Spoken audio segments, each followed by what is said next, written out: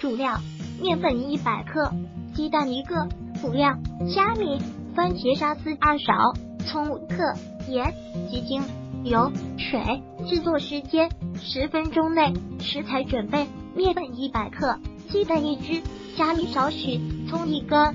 在面粉碗中将鸡蛋搁入，放入虾皮，葱洗净切末，在面粉混合碗中再放入盐，接着放入葱花和鸡精，用筷子搅拌均匀，并添加适量的水，调至面糊状。在不粘锅内放少量油，开中小火，将面糊全部倒入，用木叉摊成圆薄饼，煎至一面金黄色透，翻个面继续煎。此时可以在上面涂上自己喜欢的酱料。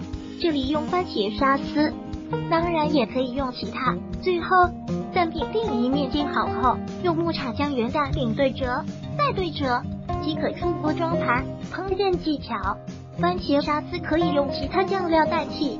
如果喜欢本视频，请分享并订阅本频道。